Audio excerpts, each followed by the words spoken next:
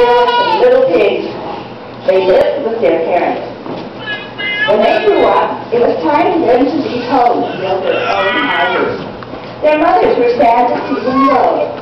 Ah!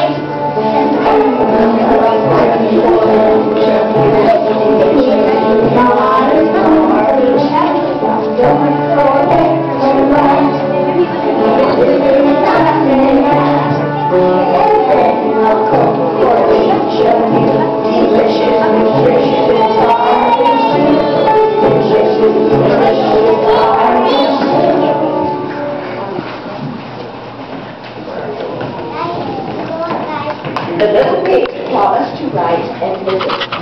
They were a little sad too.